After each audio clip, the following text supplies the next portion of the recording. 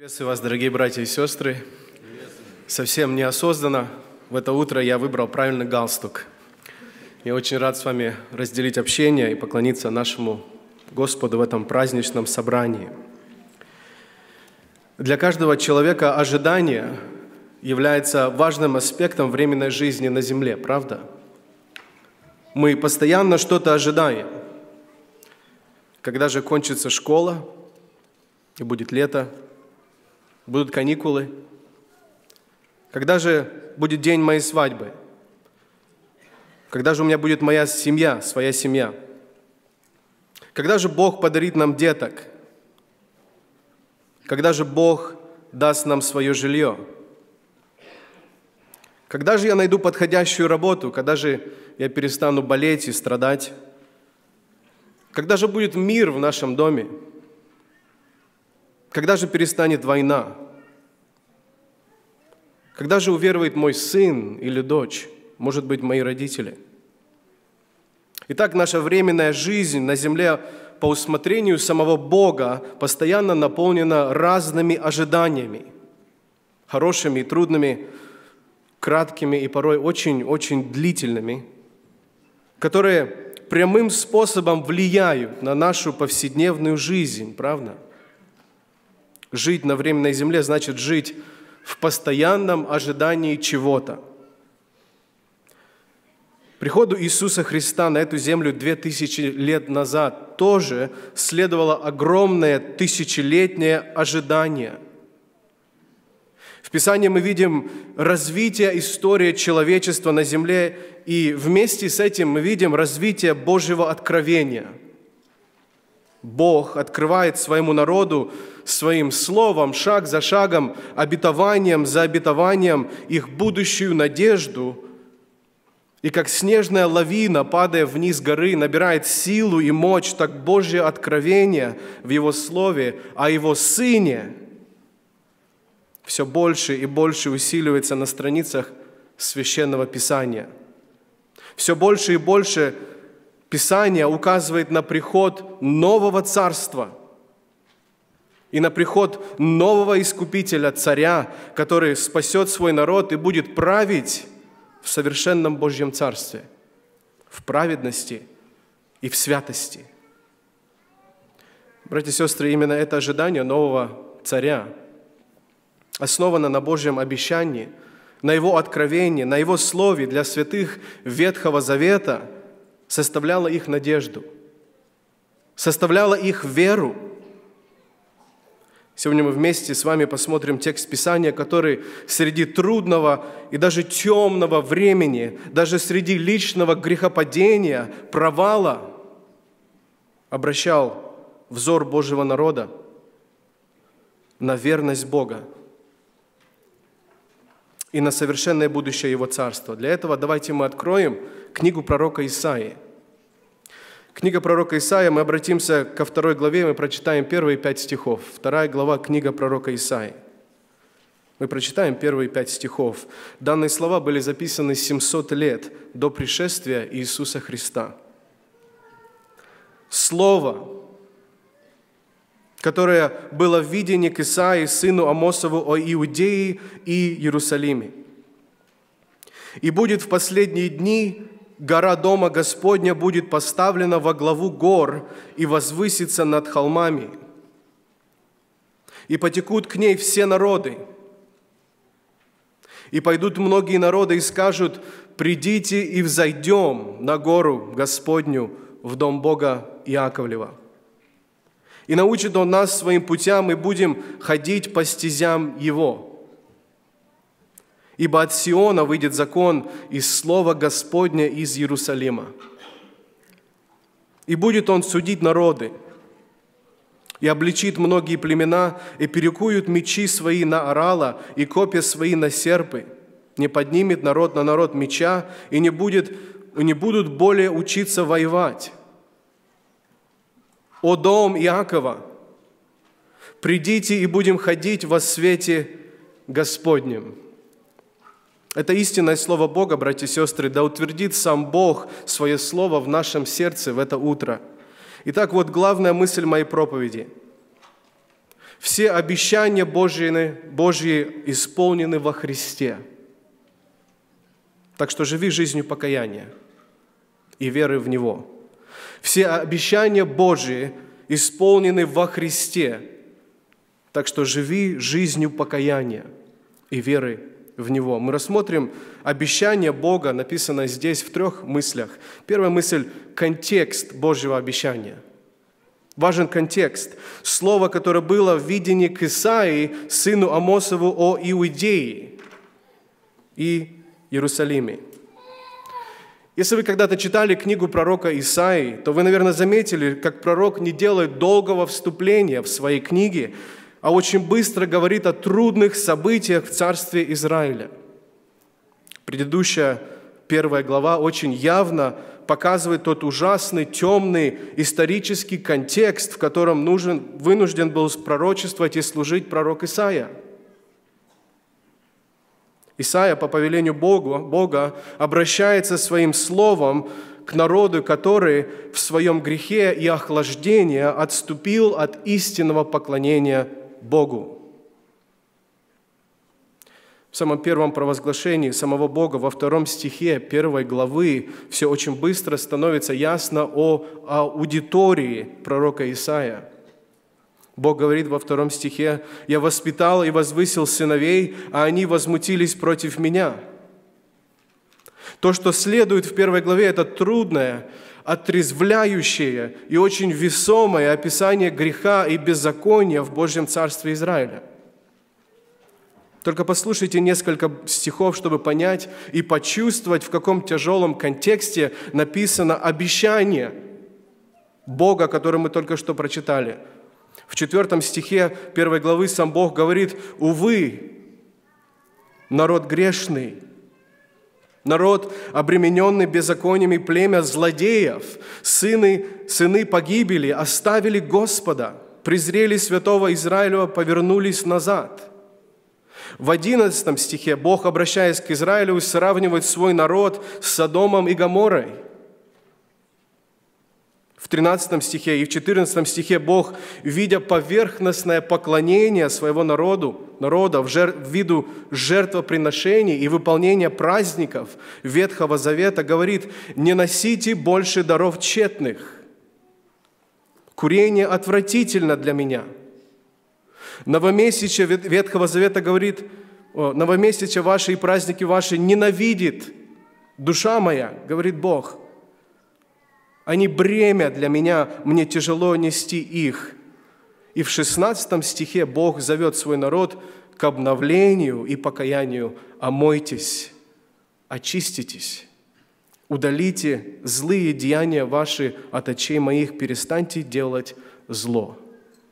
Итак, Израиль, нарушив завет со своим Богом, переживает великое отступление и наказание.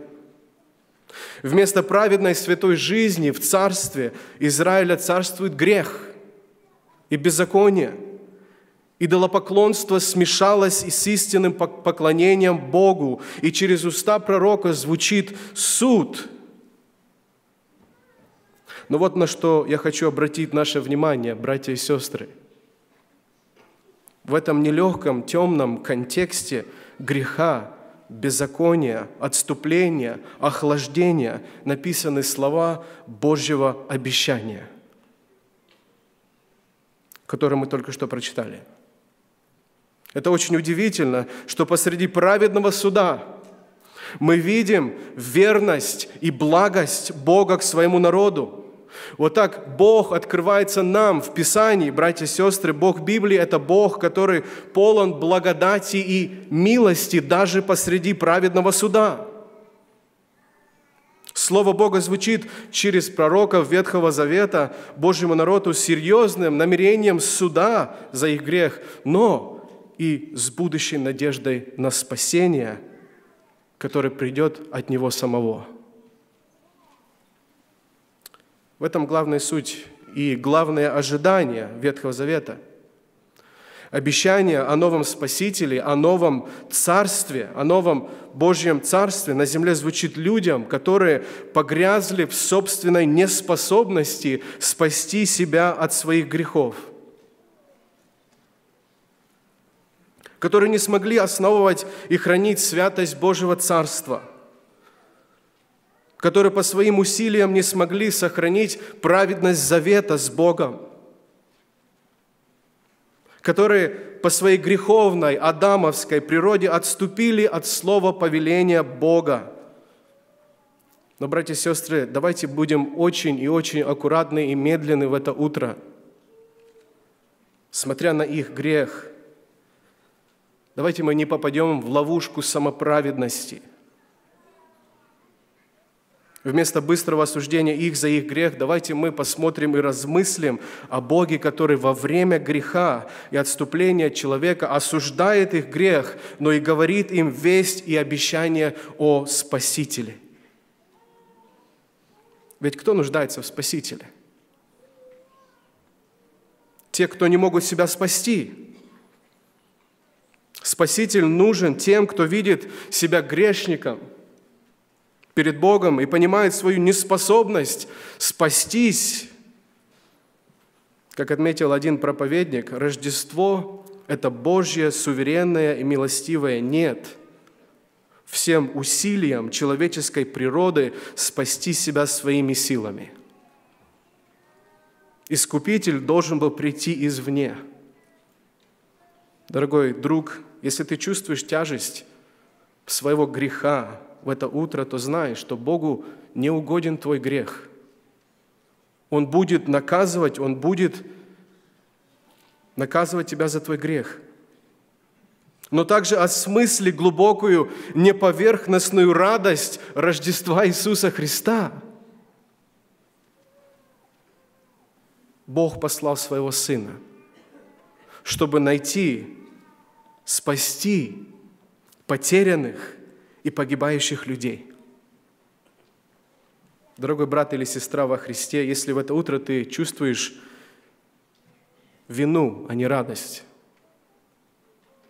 если ты чувствуешь свое падение, свою неверность Богу за свои ошибки, может быть, в этом месяце, может быть, на этой неделе, может быть, даже сегодня утро, в утро, за свой грех, исповедай свой грех перед Ним – в этот радостный день. Обратись от своего греха, сделай самоанализ, почему ты упал, поставь ограду, но самое главное, братья и сестры, при этом посмотри на Христа. Утвердись в своем уповании на Него. Обнови свою веру во Христа, потому что Он для этого пришел. Обещание Бога о светлом будущем в книге пророка Исаия звучит грешным и падшим людям, как мы.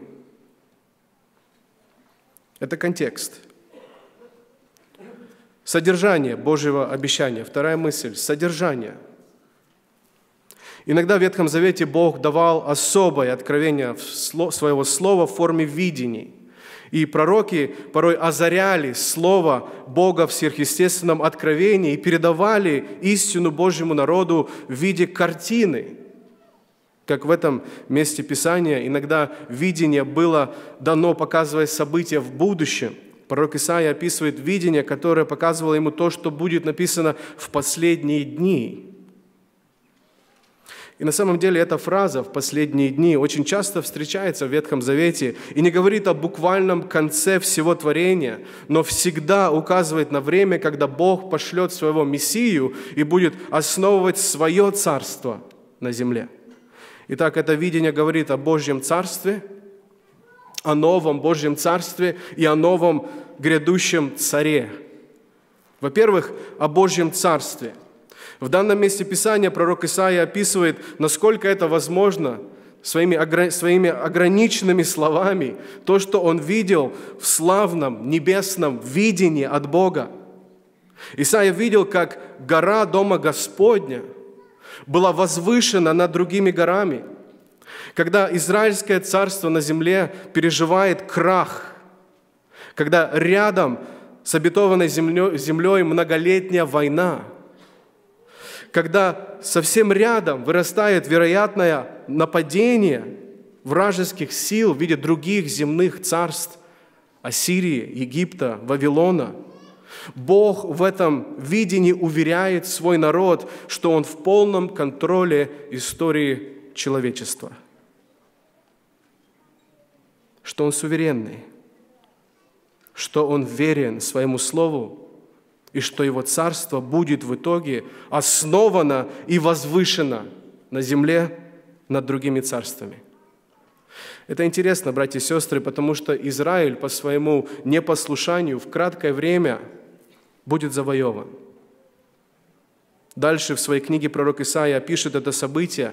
Обетованная земля будет опустошена войной с царством Вавилона.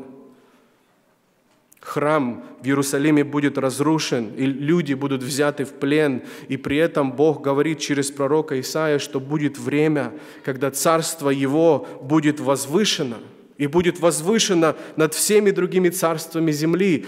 Трон Бога Израиля будет поставлен и основан над всеми другими царствами. И по словам пророка мы понимаем, что речь идет не о буквальном царстве Израиля, как только о национальном государстве. Потому что то, что мы видим в этом видении, то, что видит пророк Исаия – намного больше, намного величественней. Пророк видит что-то уникальное для его времени. Это не просто восстановление царства Израиля в обетованной земле. Исаия видит, как все народы земли текут, как множество рек на гору Господню, в дом Бога Иаковлева. Братья и сестры, не пропустите величие и значимость этой картины – очень легко прочитать это место и даже не заметить то, что было для любого израильтянина шокирующей, потрясающей, даже, может быть, возмутительной новостью. Давайте посмотрим, понять, постараемся понять, что место Писания. Это место Писания линзой Ветхого Завета.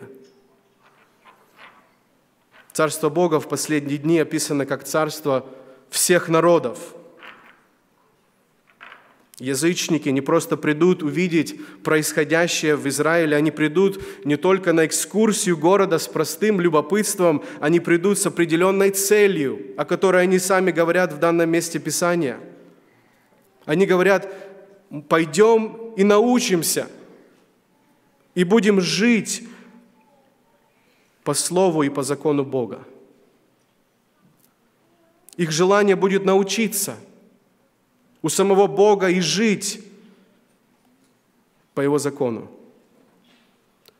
Пророк видит, как Слово Бога и Его закон, которые являются принадлежностью завета израильского народа, становятся принадлежностью всех народов. Пророк Исаия видит в будущем массовое обращение всех народов земли. Это просто удивительно, братья и сестры. Это о нас. Но даже это не самая потрясающая мысль в данном месте Писания. Братья и сестры, постарайтесь вспомнить предыдущие события Ветхого Завета, когда Божий народ стоял перед Божьей горой. Постарайтесь вспомнить предыдущий раз, когда Бог говорил Слово и говорил свой закон с горы. Постарайтесь вспомнить предыдущий раз, когда Бог сошел на гору говорить со своим народом. Постарайтесь вспомнить те условия, которые были при восхождении Моисея на гору Синай в книге Исход при основании царства Израиля. Когда Бог сошел на гору Синай, если вы помните, люди стояли далеко вдали и трепетали от страха, и доступ был совершенно закрыт. И возле горы была начертана линия запрета. Один Моисей мог заходить на гору в присутствие святого Бога. Дело в том, что весь Ветхий Завет твердит о том, братья и сестры, что грешный человек не может находиться на святой горе Божьей. Грешный человек не может находиться в святом присутствии Бога. Вся архитектура Скинии и храма говорила о недоступности Бога простому грешному человеку. И главный вопрос Ветхого Завета записан в 24-м псалме, в 3 стихе. 24-й псалом, 3 стих. «Кто взойдет на гору Господню? И кто станет на святом месте Его? Кто будет достойным?» Я надеюсь, вы начинаете видеть потрясающую мысль, видение пророка Исаия. Все народы не просто стоят вдали, не просто идут, но свободно текут, как реки, и поднимаются на гору Господню в святое присутствие самого Бога. Братья и сестры, находясь на этой стороне истории, мы прекрасно знаем, что, скорее всего, даже не мог понять в полноте пророк Исаия – Новый и лучший доступ к святому Богу будет возможен только из-за прихода Иисуса Христа, из-за Его праведной жизни, из-за заместительной жертвы за грех, из-за воскресения Иисуса Христа. Кто взойдет на гору Господню? И кто встанет на святом месте Его, братья и сестры, мы знаем ответ. Христос взойдет, и Он достойно станет – на святом месте, как тот единственный, действительно достойный, безгрешный человек, тот, у которого руки не повинны и сердце чисто. Братья и сестры, только из-за Него, дорогая церковь, только из-за Него и мы стоим. Только не через исполнение закона и не через жертвоприношение животных – только не в своей праведности, не в своих заслугах, не в своих добрых делах, не от количества нашей благотворительности, не от нашей активности и даже, может быть, служения, а только по благодати, через веру в Него. Пророк Исаия в прекрасной небесной картине – видел возмутительную суть Евангелия. Он видел результат Евангелия Иисуса Христа. Он видел наше спасение по благодати, братья и сестры. Он видел Царство Бога, где восстановлены отношения Бога с человеком. Во-вторых, пророк Исаия в своем видении видел и нового царя. В городе Нью-Йорке возле здания Объединенных Наций есть памятник – и этот памятник был поставлен как символ главной цели Организации Объединенных Наций, которая, если вы знаете, была основана для достижения мира на земле среди стран после Второй мировой войны.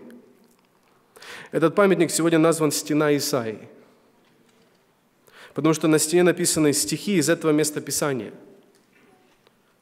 На этой стене написано на английском языке и перекуют мечи свои на орала, и копья свои на серпы, не поднимет народ на народ меча, и не будет более учиться воевать».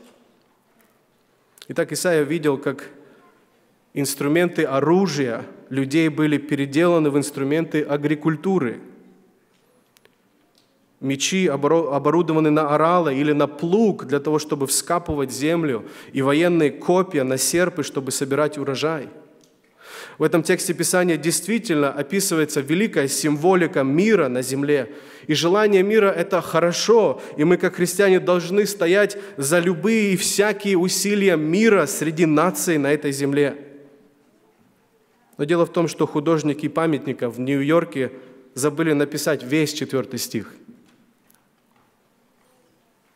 Этим самым неосознанно как бы показывая несовершенное старание всех людей искать мира небожьими путями. Что-то отсутствует в их цитате, точнее, кто-то отсутствует. Отсутствует личность, без которой мир невозможен. Пропущены слова, и будет он судить народы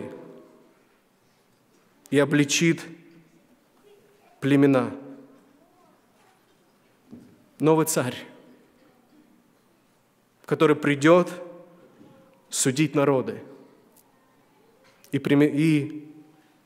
примирить народы. Он обличит их во их вражде. Он примирит. И здесь слово о суде не только говорит о юридическом суде, но о разрешении всех вражеских конфликтов. Мир придет в этот мир не через Организацию Объединенных Наций, но через правление нового царя. Новое царство придет сверхъестественным миром. Новое царство и царь проявится с преображающей силой. Новый царь придет исправить адамское проклятие и грех на земле. Не поднимет больше народ на народ меча. И не будут более учиться воевать. Произойдет колоссальное внутреннее изменение в сущности греховного человека.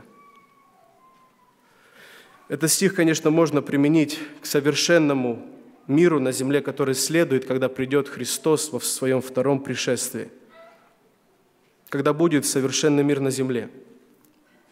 Но мы знаем большего, братья и сестры, царь уже пришел две тысячи лет назад – мы живем посреди времен. Царство Иисуса Христа уже здесь и в нас есть. Но в будущем совершенстве будет. Тот сверхъестественный мир, о котором говорит книга пророка Исаия, мы можем несовершенно, но по-настоящему переживать. Потому что Царство Бога приходит и в нашу жизнь с той же преображающей силой – Только Богом измененное сердце способно на мир. Только Богом измененное сердце способно искренне любить, когда твой муж или жена согрешили против тебя. Только Богом измененное сердце может примирить детей с родителями после маленького аргумента и даже после многолетнего конфликта – только Богом измененное сердце может примирить членов церкви, которые много лет, может быть, не общаются с друг с другом. Только Богом измененное сердце может прощать и примириться даже с врагом. Только, Бог, только Богом преображенное сердце может вмещать людей разных, чем мы, с разными предпочтениями музыки,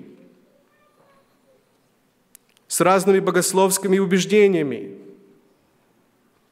с разными интеллектуальными способностями, с разными качествами характера, с разными семейными традициями, с разными социальными положениями, с разным цветом кожи, с разными языками, с разными аспектами культуры –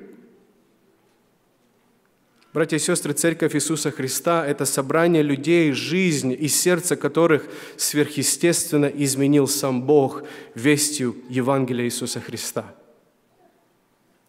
Церковь Иисуса Христа – это община разных, разных искупленных людей, которые своим совместным миром между собой провозглашают миру Евангелие Царства Бога –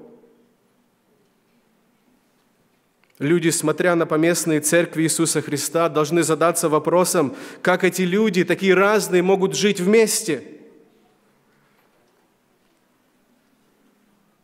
Братья и сестры, Он пришел в этот мир примирить не только грешного человека с самим собой, но и нас с вами, жертва Иисуса Христа – он усмотрел, чтобы, испытав спасение в Иисусе Христе, мы примирились и вместе с друг с другом. Пророк Исаия в небесном видении, вы видите, как он видит новое царство и нового царя. И результат этого царства, он видит, как Христос исправляет эффект всего грехопадения. Грешный человек будет жить в присутствии святого Бога, и человек примирится с другими людьми. Последняя мысль. Намерение. Намерение Божьего Царства. Пророчество и обещание не было дано Божьему народу просто как очередная интересная информация. как еще одна новость среди всех новостей, как еще одна страница в газете, как еще один пост в социальных сетях информации. Смотря на греховное состояние народа, Бог дает свое откровение – видя видение о новом царстве и новом царе, пророк Исаия зовет Божий народ, дом Иакова, обратиться от своего зла и прийти к благому Богу и ходить во свете Господнем. Пятый стих, «О дом Иакова, Придите и будем ходить во свете Господнем. Обещание и откровение Бога звучит, как яркий свет, просвещающий, разгоняющий тьму человека. Почему Бог дает благое обещание о будущем своему падшему народу. Почему он, их обращает, почему он обращает их внимание на свою суверенную власть над историей человечества? Почему он говорит им о своей верности посреди их неверности? Почему он говорит им о его благости и милости посреди их отступления и их греха? Почему и для чего? для того, чтобы укрепить их слабую веру, братья и сестры. Чтобы обратить их от греха, Бог через пророка призывает к покаянию свой народ, говоря им благое обещание и намерение, когда Израиль будет в Вавилонском плену за свое непослушание, за свой грех, и когда обетованная земля будет опустошена. И вся человеческая надежда умрет – Именно обещания Бога, такие, как мы рассмотрели сегодня, возродят в Израиле новое ожидание. Ожидание нового царства и ожидание нового царя, когда Бог будет молчать 400 лет, и видения, и пророчества прекратятся. Именно многочисленное обещание Бога, записано в Писании, побудит некоторых верить и ожидать пришествия нового царя-искупителя – Именно это ожидание основано на Божьем обещании, на Его откровении, на Его Слове, составляло их надежду и составляло их веру. Интересная мысль, братья и сестры. Когда мы зовем друг друга к покаянию, или когда мы стараемся ободрить друг друга к большей вере, на что мы обращаем внимание – Какие методы мы пользуем? Говорим ли мы о верности и благости Бога друг, друга, друг другу? Напоминаем ли мы друг другу о совершенной власти Бога над всем творением и над всеми событиями земли? Напоминаем ли мы друг другу обещания Бога? Во время охлаждения, во время сомнений, во время шаткой веры обращаем ли мы внимание друг друга на твердость и непоколебимость Божьего Слова – как хорошо и приятно бы это не было, но не только в виде красивых и красочных сообщений на телефоне. Звали ли мы брата или сестру к большей вере и святости, говоря им о их грехе и рассказывая им весть Евангелия? Указывая им на Христа. Братья и сестры, обнимали ли мы христианина, упадшего в грехе, и напоминали ли мы ему о радости Рождества – о рожденном Спасителе.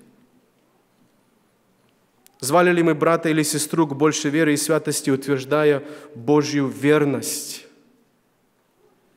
Ободряли ли мы брата или сестру, проходящее время скорби и испытаний обетованиями Бога и утверждая Его суверенность и Его благость во всяких жизненных ситуациях?